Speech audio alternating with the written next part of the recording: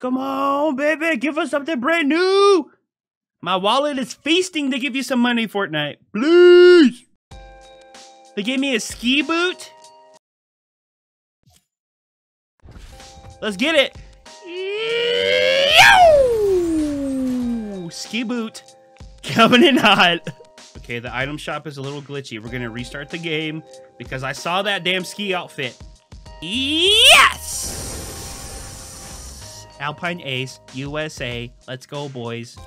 All right, guys, I'm not going to waste too much of your time. This is the USA ski outfit along with the, the ski boot harvesting tool.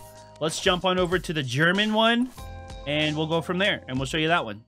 The ski boot, though. Germany. I have to buy Germany because I'm half German. My mom's German. My dad's Mexican. Mexican American. German. Yes! So I showed you guys the American Alpine Ace, and I'm going to show you the German. Let's jump right in. It partially matches the ski boot, minus the blue on top, but the German one looks clean as well. Everyone's going to think I'm German, which is fine, because I love German food. Cloud Strike glider looking beautiful as always. The ski boot sounds like the Grim Reaper harvesting tool. If you ever heard that, this is what it sounds like. Sounds pretty sounds pretty cool. Why would you Hey! Okay, I knew that was gonna happen. So there's the German outfit. Do do I think these outfits are worth? It kind of depends on like, you know, if you want to rep your country. But this is this outfit is for you. Do, which one I think looks the best? I might, I think Canada looks the best, honestly. Canada looks the best in my opinion.